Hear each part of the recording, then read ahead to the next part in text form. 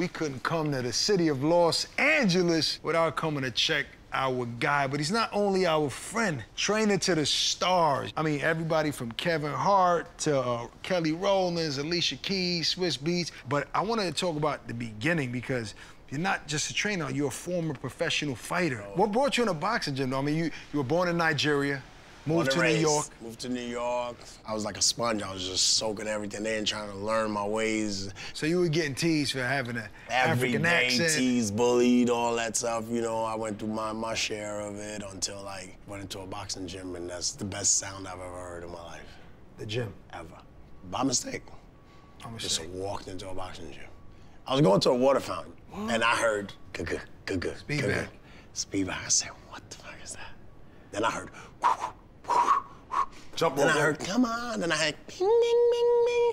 They sounded like a melody to me. It sounded like I said, Like music. I said, that's a sport I never learned. My mom was totally against it. You know, she's big on education, as, as all parents are. But if you use it wisely, you know, you can make a temporary thing longevity if you know how to hustle and, and know the insights of it. A lot of people don't know. A lot of people know you as a celebrity trainer, but Yeah. you, you went on to fight Do they? Professional. Do they and know then, me Yes, Yeah, they yeah, know yes, you. they do. Yes, do, they do. know you.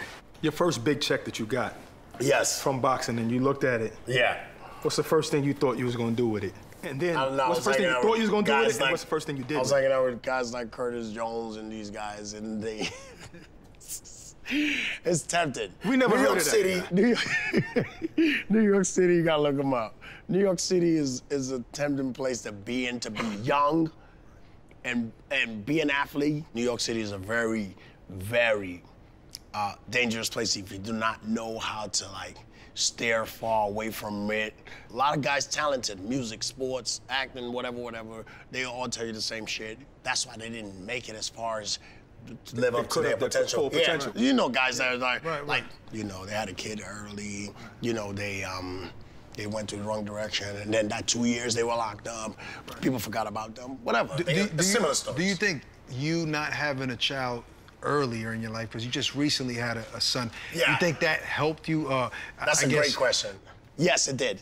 Yes, it did. 100%. Remember, my job as a teenager was I just know how to pack my bags, pack my boxing gloves, and go to the gym. I wasn't worrying about nothing. I didn't have rent. Mm-hmm. I didn't have cable bill. I didn't have other. I didn't have to go to nine to five every day. Right. You know, thanks to my mom, she took that pressure off of us. You know, so so I can focus. It plays a, a role, especially for, for especially for women too. Sometimes a guy can have a kid by a woman and then leave, and then she has to figure out: Do I still chase my dancing dream? Do I still chase my singing? Because I have to do this, you know. So Right, and that's a priority. yeah, it's a huge priority. It's number one. It becomes number one of everything. I'm- and, and that's interesting uh, because you in New York City, you were at the top of the food chain when it Yeah. came to celebrity training, right? Living but you still Wall left Street. it all alone because Yeah. of that responsibility of your son that was born here in Los Angeles, and you moved to the city and left everything and started Everything. all over from scratch here. How was that Everything. process? Uh, Walk me Man, through that's it. a, that's a that's a, a great great question. I don't think nobody's ever asked me that on camera. You know, you know, people You never say, been on camera. Yeah, so people. What, what are you talking about? I got the face on radio. I I the transition was like it was kind of tough in the beginning because I started to think like a like a mere peasant. Sorry to use those terms because a, a regular 90% of the of the population that we live in, they they never take a risk as such. But then it all cleared out of my mind. I said, I'm thinking regular. Am I regular? Am I as bad as my the best? Am I this, this, or what I think I am? Me personally, not what people tell me. Mm-hmm. I was like, if I think I'm as great as I think I am, I'm always boasting this greatness. Now is the time to prove it to myself. I wanted to be here physically when my son is born. Because you, you, every father owes that to the child. And that was the main reason I said, I'm coming over. I could have been here negative in my bank account. And still, I had to be here, and I was here. But check it out. There's so many fads. It was CrossFit. So many things come out and people jump on, especially. Yeah, they do. They do. Well, you you stuck to boxing training. I have to. Now, there's no rich. That's my thing. I don't know any rich boxing trainers. I don't know any famous boxing trainers. You I could have don't went. either. You could have went to anything else. I don't you stuck with boxing. Oh, yeah. And made it. Like, Yeah. how did you do? Why did you think that? because it's, it's, it's, it's a language. it's my livelihood. Boxing is your language. It's why I thrive. This is my stage.